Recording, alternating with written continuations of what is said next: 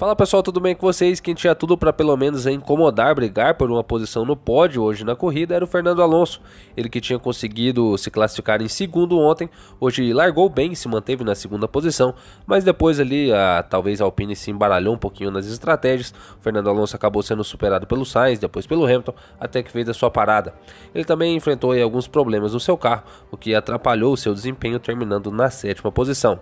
E depois da corrida ele não estava com muitas palavras. Scenario 12, please. Scenario 12. Okay, mate. Uh, good race. Speed 7. Sorry about uh, the issues we had. It's okay, mate. But uh, well managed. Okay, mate. Overall, very strong weekend for us. Uh, I know that's not where we want to finish, in P7. But uh, very strong performance this weekend, and uh, we'll build on that and keep going.